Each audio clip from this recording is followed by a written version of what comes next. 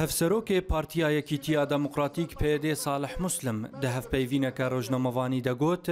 گۆ پەیوەندیە نوان لەگەل وااشنتۆن و مۆسکۆیێ دە چارچۆڤەیە هەفپەیمانیەکە دروست و لە دژی تەرۆرێ دەیە و ئەو لە ئافرینێ لەگەل هێزێن رووسی و لە جززیر و کوبانێژی لەگەل هێزێن ئەمریکی خەباتا لە دژی تەرۆرێ بەردەوام دەکەن و هەفپەیمانی ئاوان دەربارەی وەیەکێ هەر بەردەوامە.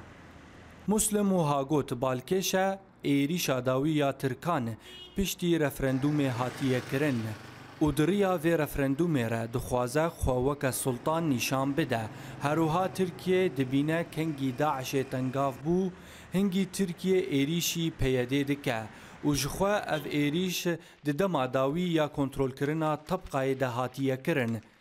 هفسروک پارتیا یکیتیا دموکراتیک پیده دوام دکه Gohezên wî dê bersiva her êrişeke Tirkiye bidin û dibêje bersiva êrişên Tirk hate dayîn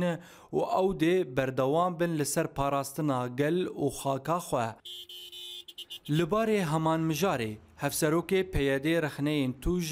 li helwesta Amerîka û Rûsyayê dike û dibêje fermandarên Amerîka لجهه بویره لیکولین کرن نرازیبونا خواه تینن زمانه لبه گمان او نرازیبون ندوه آسته ده گولگوری دلی مبه مسلم گوت گۆڕاگەهاندنا هەرێمەکە دژی فرینێ ئانگۆ حەزەرتەیەران دخوازن ئەو دخوازن ترکیە بە تەمامی خۆش ڕۆژاوا و سووریە vekişîne ji ber û li gorî gotina salih muslim Tirkiye dixwaze tevleheviyekê li Sûriye çê bike.